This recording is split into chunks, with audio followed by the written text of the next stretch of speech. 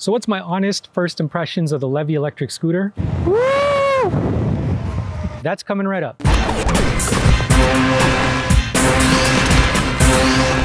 Hey everyone, my name is Rik Cordero. Welcome to Run Playback, where we help you with video and tech tips to lead a more efficient and affordable lifestyle. Let's be creative and save money at the same time. Today we're doing our first impressions of the Levy electric scooter. Levy is a new name in the electric scooter market, but you probably know them from their signature feature, a swappable battery. I'll have a full review coming out soon, but for now, we'll just focus on our first impressions from the unboxing to the first ride. And just a reminder, my goal is to always be unbiased and transparent with my opinions. This video is not endorsed or sponsored by Levy.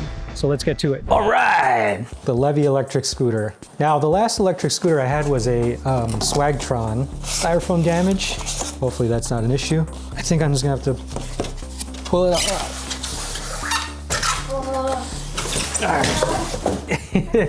that's not as heavy as I thought it would be.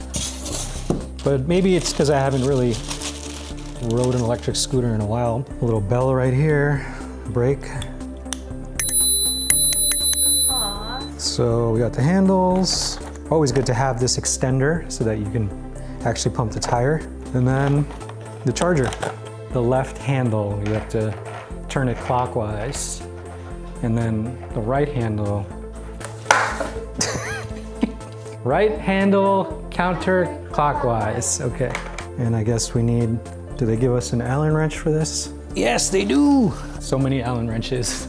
I have so many. This is all really exciting coming through. So the first thing I notice is the nice little control trigger made out of some rubber or silicone. Yeah, and this is kind of a unique look.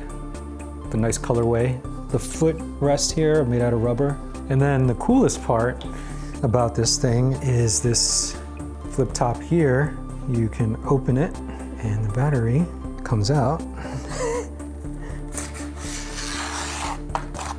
like so. So the removable battery is pretty cool. I think it's a really neat design. Typically you don't have access to the battery with something like this. Let's see if I can figure out how this goes back in. Like this, right? Like that. So don't be fooled by this spring. It's just basically, it's not for any kind of power distribution. It's just to put some tension on the battery so it doesn't bob up and down when you're riding. Okay, yeah, so that's our first look right out of the box. Coming through. Ooh, it's a nice little sound. I don't know, can you see that? And then it off? I don't know what that means. okay, that's something.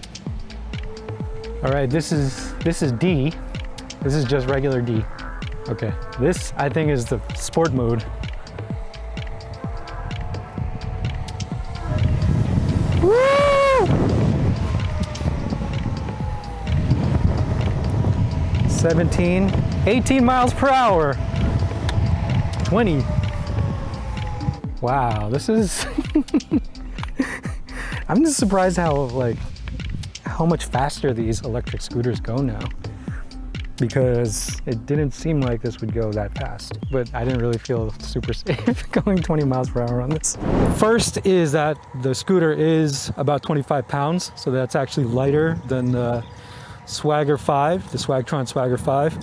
It does have an integrated um, battery and speedometer display, as well as an integrated bell. So there's the bell. um, and then there's also a headlight. When you uh, tap one of the buttons, you get a headlight, integrated headlight, as well as a tail light. So that's really helpful. You don't have to add any of those things with aftermarket parts. And then it's also waterproof, uh, rated at, I believe, IP54, which means that it is splash proof from all angles.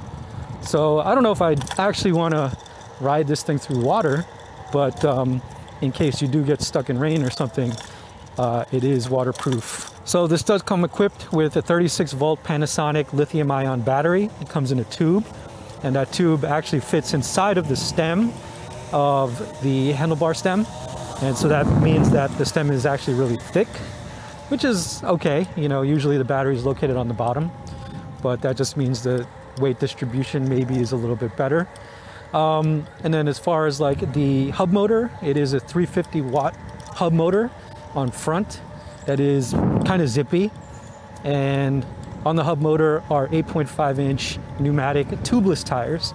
Now, what's cool about the tubeless tires is that it has better traction um, on the ground. And I think also if you do get a puncture or something, you can actually seal it without having to uh, remove the tire from the actual scooter. So that's some of the benefits of the tubeless design. So there are three speed modes on this scooter. There's beginner mode, which is a maximum of six miles per hour. There is eco mode, which is 12 miles per hour. And then there's sport mode, which is 18 miles per hour. This also has a range of between 8 to 10 miles depending on your size, your weight, and how fast you go. This is a dead end, so I'm gonna go around. um, and uh, yeah, so it, it, also depends on how much you're doing your throttle. So if you're like holding onto the throttle, obviously you lose a little bit more. So now it is fast on flat ground, but hills are a challenge and I'm gonna go on a hill right now to show you guys. Now this incline is pretty steep and I'm pushing a little bit to help it out because you don't want to actually burn the motor out. So I'm on sport mode. I'm, I don't know what grade this is. Maybe we can check out the stats later when we look at it, but it's a pretty high grade and it is struggling. And here it's leveling out a little bit more and getting up to 14 miles per hour. So that kind of shows you um, how much of uh, how hills are a bit of a problem. Uh, but that's kind of for a lot of scooters, right? You know, it's a little bit tricky to go up hills with something that only has a uh, 350 watt hub motor. So the 8.5 inch pneumatic tires are actually pretty comfortable. Uh, it does absorb a little bit of the terrain. Um, I mean, asphalt is probably the best that's suited for something like this. Uh, and you'd want to be careful about like potholes and cracks in the road because you could easily lose balance. So there are two brakes on the Levy electric scooter. You have the uh, mechanical brake in the back, which is the disc brake, and then the electronic brake as well. So it's a good safety option in case you need it. And we could test the brakes right now. So a nice smooth stop. So my overall impressions are that it is zippy. It is faster than I thought it would be uh, for something like this, which is a mid-range scooter.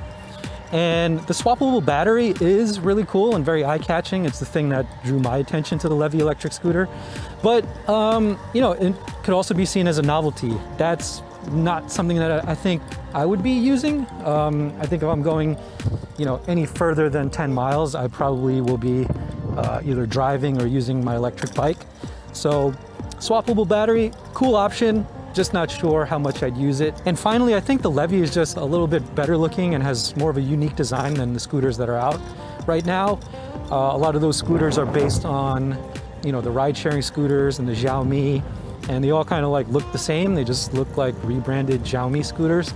Uh, this one just has a little bit of a different look with the, you know, the, the big stem and kind of the silver uh, accents and the light blue and, you know, the gray colorway. So it just pops out a little bit more. Even the display looks better. There are more powerful scooters that are coming into the market, some with wider wheels and, you know, stronger motors and things like that. But really the, the practical use for it is, is more around this kind of like size and mid-range scooter like the Levy. So yeah, overall kind of a good experience and something that I would definitely enjoy riding again. So that's our first impressions of the Levy electric scooter. As I mentioned, I'll do a thorough review next. If you have any questions about the Levy that I didn't cover, feel free to hit me up in the comments. If you want to dive into more video and tech tips, click the links on the side and remember to like and subscribe so I can help you find tech deals that fit your lifestyle. I'll see you guys in the next video.